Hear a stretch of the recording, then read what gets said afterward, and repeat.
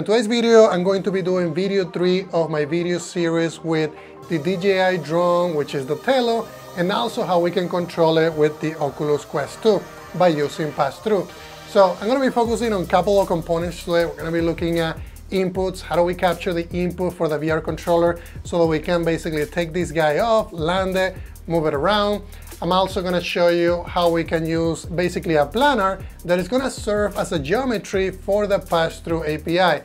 So we're going to be using the OVR pass-through layer to be able to do that and also displaying statistics on the Oculus scene. So let's jump into my computer and start working on it. What we're going to be working on is actually implementing the drone controller. So this is going to allow us to control the drone with the VR joystick. So we're going to be able to basically press a button to take off, press another button to land it.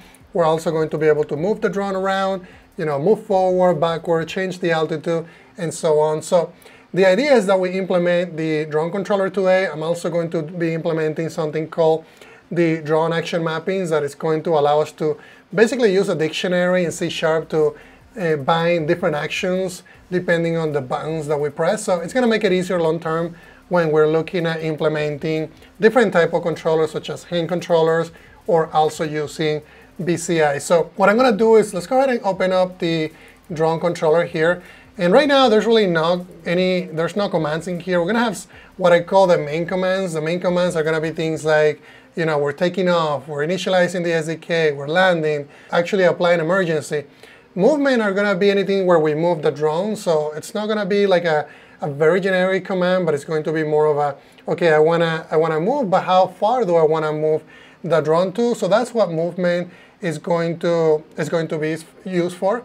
So we're gonna be spending a lot of time on this drone action mapping, which it might sound complicated at the beginning, but trust me, it's gonna, it's gonna make things a lot easier. So let me go ahead and start by creating a new, so what I'm gonna do is, I had to, I did it this way, but there's many ways that you can implement this.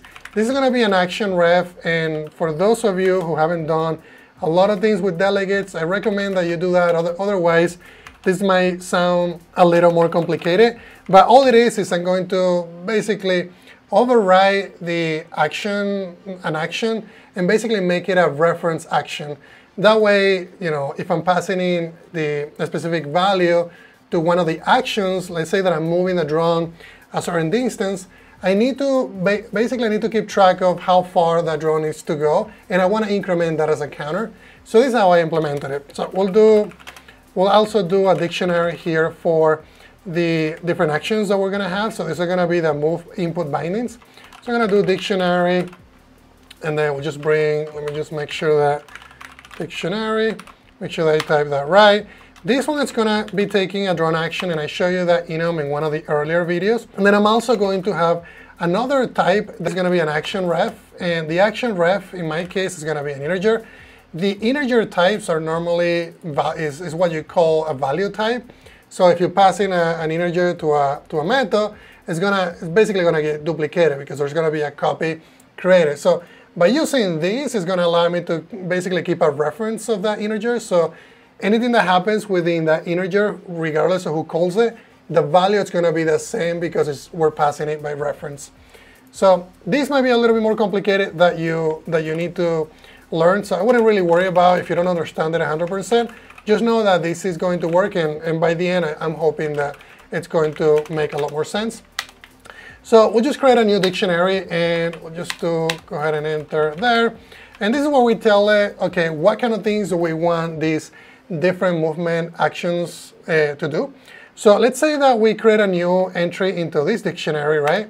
And in this, in this case, it's gonna require that we pass in uh, an action.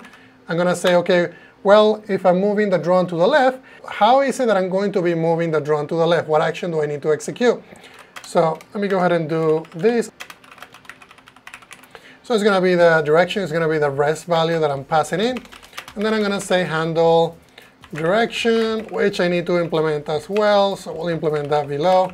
I just say OVR input. So this is going to be the buttons that are going to be causing the, the drone to move to the left. So in this case, I decided to use the secondary thumbstick. So I can say secondary thumbstick left. And then the other parameter that is this is going to be also taking is going to be the ref direction. So if I take the ref direction, I need to make sure that I'm using the ref key.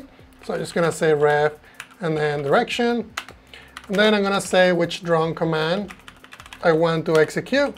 I'm gonna be using the RC command, and that is a command that is going to allow me to control the basically the movement of the drone. And then I'm also going to use something that I call the, basically it's like a, it's a format command.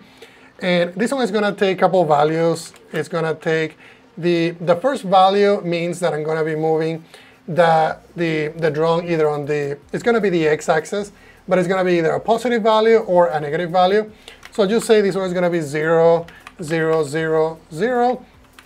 And then in this case, because I'm moving to the left, I'm gonna specify I'm also going to use another enum, which I call the drawn, the drone speed type. Remember, I set up that, that one for this specific reason. And then that's basically all we need to do in there. And then just, I already closed actual curly brace. That's gonna be the first entry that I have in my dictionary. So I'm gonna have multiple in here that we can, that we're going to be implementing. And then I'll explain to you how, how all of this works. I think for the most part, the only thing that I need to do here is I need to be bringing in system because that's an action. Then I believe the drone state manager, it's going to be star stats. Okay, and then also this one, let's see, drone client. This is to start the client, start the drone. Start, let me just make sure. Go ahead and take a look at the drone client implementation. I thought I had a, oh, okay.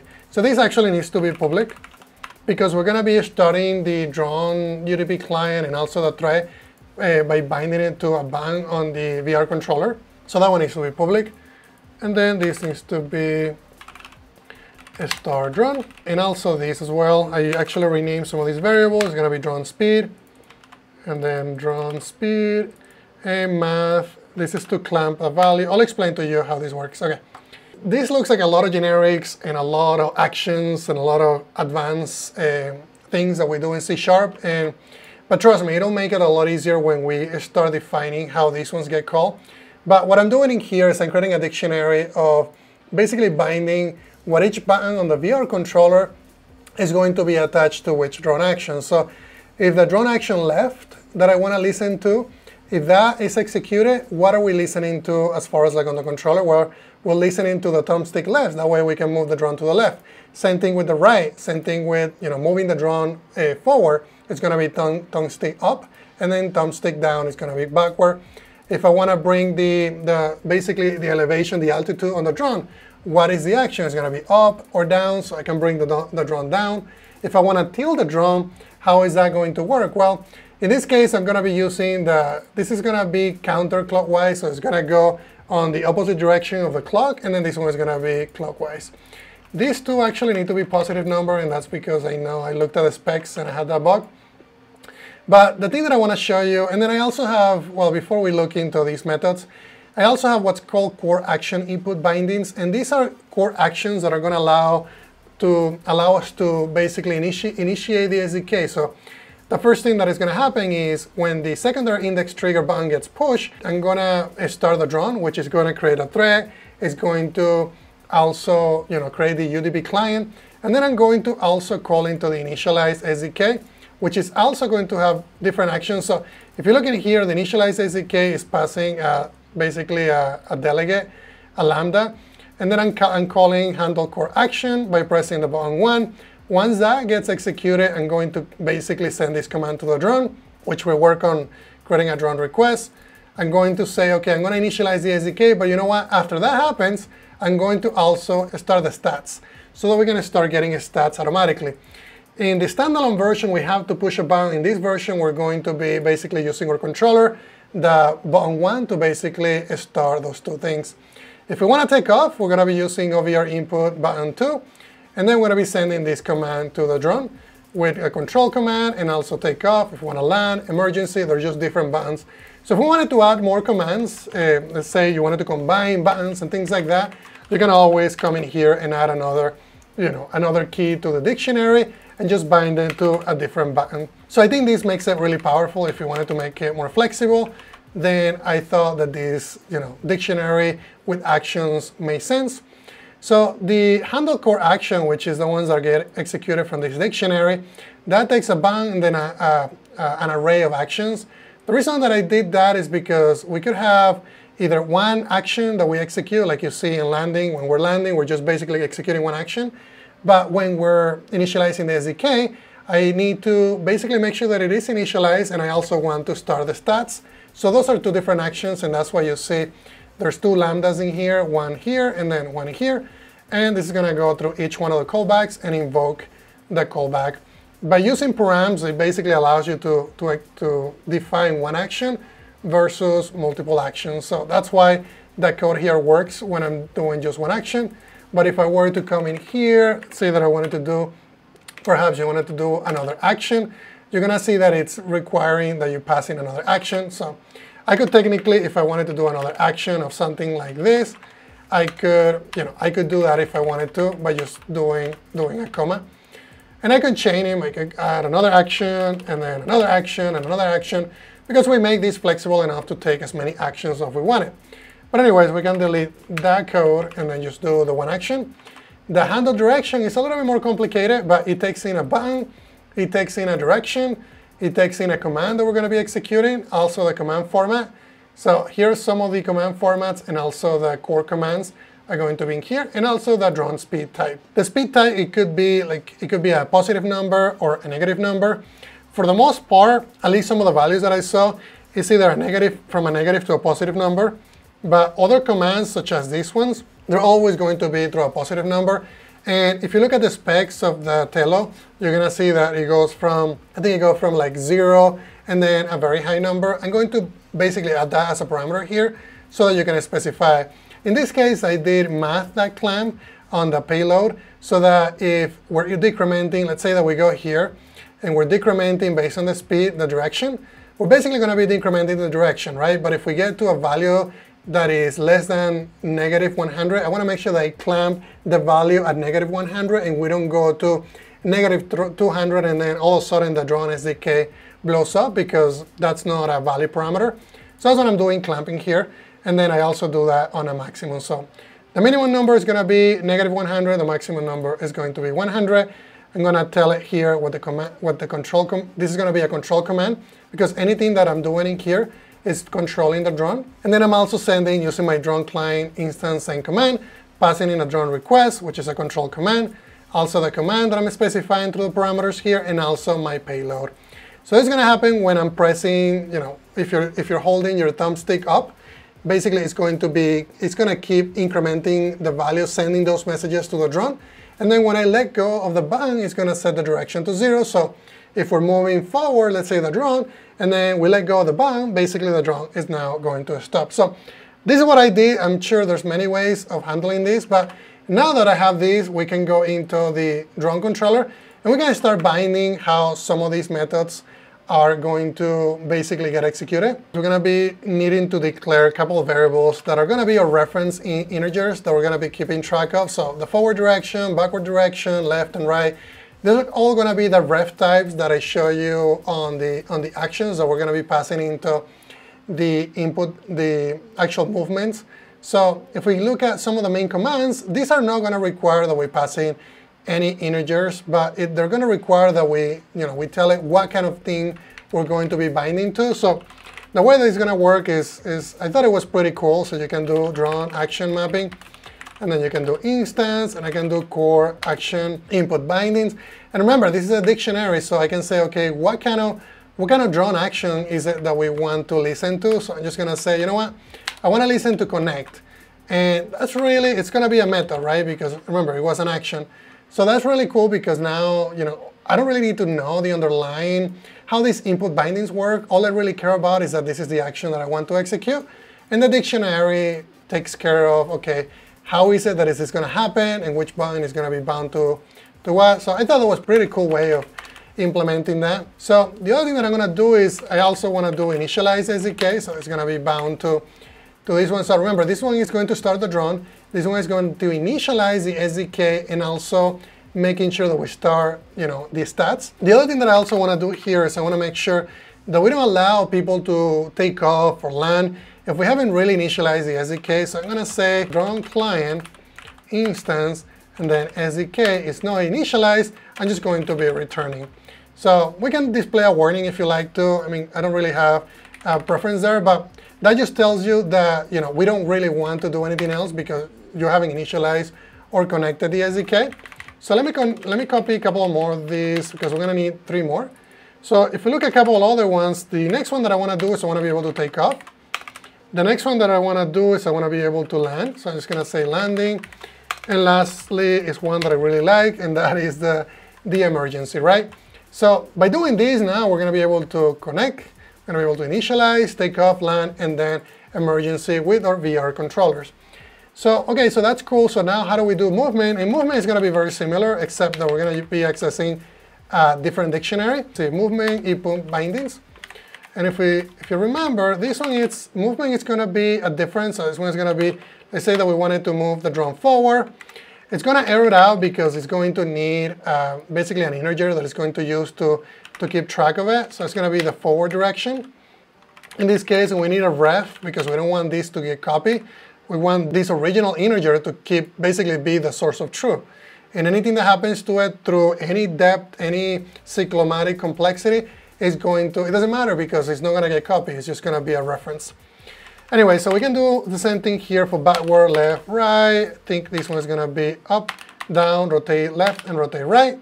And all we really need to do here is I can just say, on this one I'm going to be doing this variable, this one is going to be doing, just going to do that and then rotate right. And then what we need to do is, again, this one is going to be up direction. I really like how Visual Studio tells you what you're using. That way I can keep track of which variables we have in copy.